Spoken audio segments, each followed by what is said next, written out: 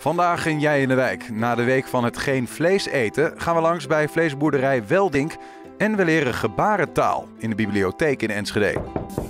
Wat wij hier doen in de bieb is uh, wekelijks oefenen met ondersteunende gebaren. En dat doen wij met slechthorenden en horenden, omdat we graag de communicatie uh, tussen deze twee werelden willen verbeteren. Welkom bij Jij in de Wijk.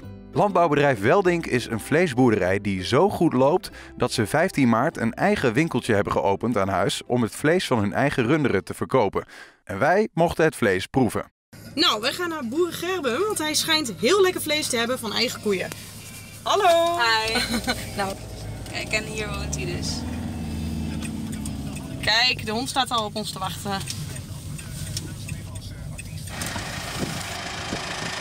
Hoi.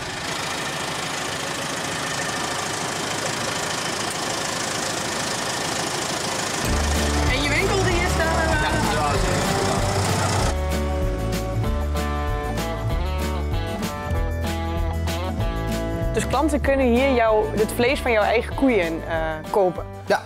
Ik zag net al een koe staan daar in de stal. Ja. Is dat een van de koeien waarvan je het vlees ook uh, gebruikt voor de verkoop? Ja, die, uh, die, moet nog even een beetje aankomen. Dat is, met andere woorden, hij moet nog iets zwaarder worden.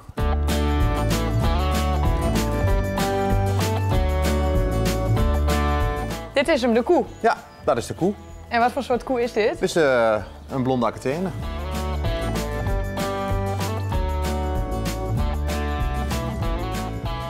Sinds het overlijden van mijn vader in 2012 heb ik uh, uh, meer gaan uh, richten op de vleesproductie. Sinds een maand of drie geleden ben ik begonnen met, het, met de winkelruimte te maken. En die is dan nu echt klaar en dat is, dan hoop ik dat ik de eerste paar jaar daarmee verder kan. Wat vind je van dit werk als boer?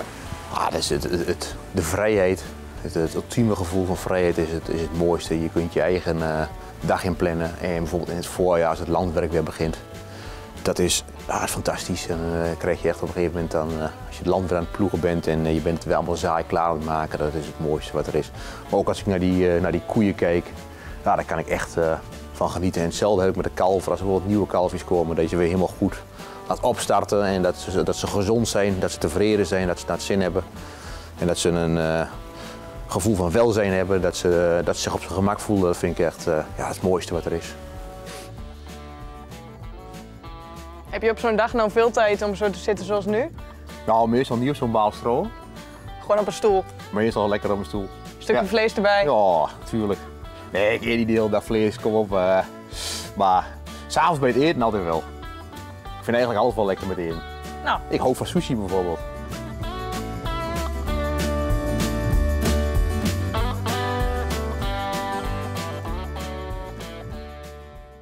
Hoe lang uh, gaat dit vlees de pan in? Totaal vier minuten. Uh, vier minuten kan. En dan is die medium gebakken? Dan is die medium gebakken. We houden wel voor de temperatuur uh, erbij met de kerntemperatuur meter.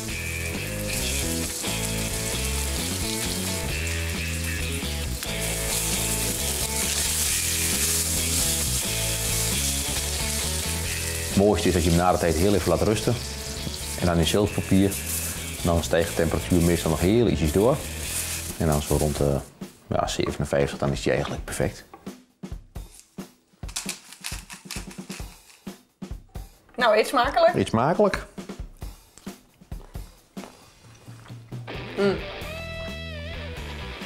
Toppetje. Hij is lekker. Leren praten met je handen kan natuurlijk heel handig zijn en bovendien erg leuk. Iedere dinsdag kun je in de Centrale Bibliotheek in Enschede een uurtje gebarentaal oefenen. Wat wij hier doen in de bieb is uh, wekelijks oefenen met ondersteunende gebaren. En dat doen wij met slechthorenden en horenden, omdat we graag de communicatie uh, tussen deze twee werelden willen verbeteren. Waarom de activiteit leren praten met je handen? Um, slechthorendheid, um, dat verdient de aandacht. En slechthorenden vinden het fijn om um, meer ondersteunend te praten met de handen. En we hebben ontdekt dat er in Enschede weinig tot niks is. En daarom willen we graag oefenen met een aantal mensen die dat ook uh, belangrijk vinden. Wat vonden jullie van de les? Ja, leerzame les. Uh, veel herhaling gaat. En ja, ik vond het wel eh, een leuke les eh, om veel woorden weer te herhalen, zeg maar. Ja, ik vond het een leuke les. Ehm, Ik heb vorige week ook eh, voor het eerst meegedaan, net zoals Amba. En eh, ja, het is leuk gewoon even weer oefenen en eh, nieuwe mensen leren kennen. En eh, ja, de taboe van de gebarentaal afhalen. En is het belangrijk dat eh, meerdere mensen dit kunnen? Eh, ik vind zelf van wel. Je merkt toch dat de groep slechthorenden en de dovere groep... dat heel veel mensen zijn die daar moeite hebben met goed horen. En als je een klein beetje gebarentaal kan, als je maar één of twee woorden... dat je weet van, oh, dat kan ik ook gebaren... dan kun je zoveel makkelijk contact maken met iemand. Wij leren de woorden uit de Nederlandse taal, eh, bijvoorbeeld koffie, thee, goedemiddag, eh, moeilijk, eh, de woorden piep. Dus allerlei woorden die in het dagelijks leven voorkomen. Doof heeft weer een groep, slechtverwondheid heeft weer een groep. Je, je past nooit ergens bij. En als je de taal hetzelfde hebt, kun je met elkaar communiceren. En dat is het belangrijkste. En heb je een oplossing daarvoor, dat er meer dingen moeten komen? Daar heb je daar ideeën over? Of? Blijf erover praten. Het komt nu steeds meer in het nieuws. Dat is helemaal geweldig. Ehm, net zoals Ellen en Ezra nu doen, eh, de Wappermiddag. Eh, het moet gewoon steeds meer. Ja, de gemeente moet daar ook steeds meer voor open staan. Heel veel gemeentes hebben zoiets, doen we niet. En Voor wie is deze activiteit geschikt? In principe voor iedereen. Eh, in het begin kunt je met gebaren al beginnen van kinds af aan. Helpt in taalontwikkeling en zorgt ook dat de deur open gaat naar nieuwe talen. Dat, gewoon, eh, dat, dat ook uh, met de regering ook zegt van jongens, dit is een uh, officiële, taal. officiële taal. Maar dat is het nog steeds niet. Nee. En dat banket Ja. ja. ja. Dus jullie vinden eigenlijk dat de gemeente Enschede ook te weinig doet? In het algemeen, de gemeente ja. algemeen. Geme gemeentes algemeen. algemeen ja. Heel Nederland zeg maar, die doen er uh, veel te weinig voor. En er moet, moet meer openheid voor zijn. Ja. En organiseren jullie dan zelf iets of hoe doen ja. jullie dat? Ja, ja wij, wij, doen zelf wat. Uh, we hebben een Facebookpagina uh, geopend voor deze regio. Um, ook omdat wij drie en nog, nog een meisje, uh, de, ze zeiden van er is te weinig hier in de omgeving voor mensen die slechthorend zijn of doof. Uh, zijn wij wat begonnen. Uh, ontmoetingsborrels, uh, dagjes uit naar een museum, de Grols komt eraan. allemaal geregeld met tolken, dus ook al ben je doof of slechthorend, communicatie is mogelijk door middel van een schrijftolk of een gebarentolk. gelukkig in samenwerking met de bibliotheek mogen we gebruik maken van de ruimte. daarom kost het ons niks. En omdat wij zelf gewoon aan het oefenen zijn, doen we het ook vrijwillig. dus wij krijgen er ook niet voor betaald en dat zorgt ervoor dat mensen gewoon gratis mee kunnen doen. Afgelopen donderdag lieten basisschoolleerlingen van Montessori School het Zeggeld zien hoe creatief ze zijn. Op de Gouden Eeuwmarkt op de Oude Markt presenteerden ze daar hun werkstukken, toneelstukken en nog veel meer.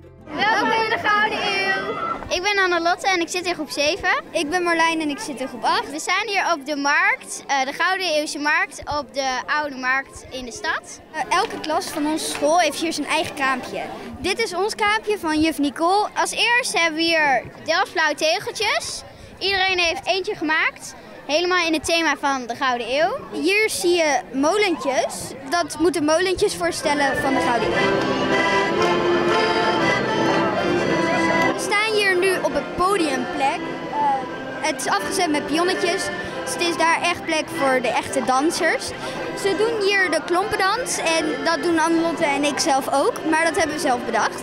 Er worden drie mensen die zijn muziek aan het maken op een accordeon. En uh, de rest is in uh, echte ouderwetse klederdracht aan het dansen. En het is heel gezellig vooral.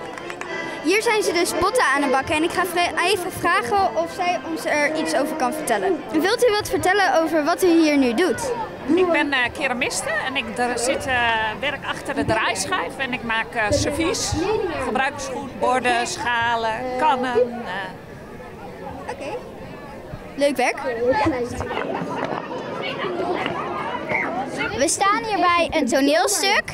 Waar gaat het toneelstukje eigenlijk over? Het gaat over het leven van Rembrandt, maar dan op een beetje een grappige manier. We gaan dus door de tijd reizen. En we vertellen over uh, wat hij allemaal meemaakt en in welke tijden hij wat voor dingen beleeft. En wat vinden jullie nou zo leuk aan toneelstukjes? Nou, ik vind het heel leuk om je in te leven in een ander persoon. Maar hier spelen we onszelf en dan kom je jezelf ook wel heel erg tegen. Ik vind zelf het oefenen vooral heel erg leuk, want het is heel gezellig. Hier zit, zijn ze aan het weven van schapenwol. En dan maken ze van schapenwol maken ze touw waar bijvoorbeeld het jurkje van Anne-Lotte van gemaakt is. Kunt u misschien een beetje uitleggen hoe het spinnenwiel werkt? Er zit een groot wiel aan uh, wat dus eigenlijk draait. En dat zorgt ervoor dat de vezels gaan uh, draaien. De spinnenwiel trekt uiteindelijk die vezels die, die jij indraait weer naar binnen. En die rolt die op een klasje. Als je het klasje vol hebt, dan maak je nog zo'n klasje vol. En dan ga je van die twee klasjes ga je samen één draad maken. En dat noemen ze twijnen. En dat zorgt ervoor zeg maar, dat de draad vrij stevig is en dat als je hem dus ook breidt, dat, het, dat je kleren niet zo snel kapot gaan.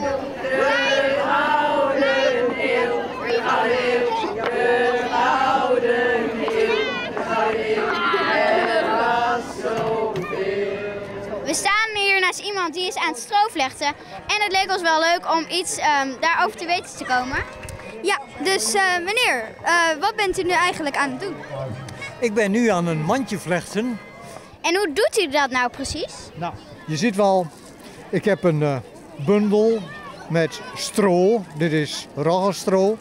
Stro dat maak je met water, maak je het gewoon een beetje nat. En dan is het doorweekt en dan kun je het buigen in elke vorm die je hebben wil.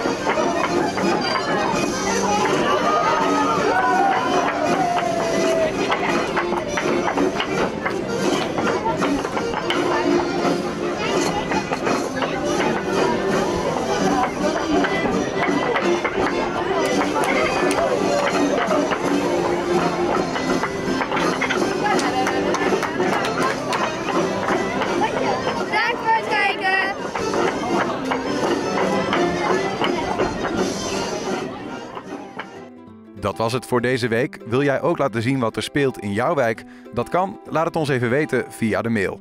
Volgende week zijn we terug met een nieuwe Jij in de Wijk. Dus heel graag. Tot dan.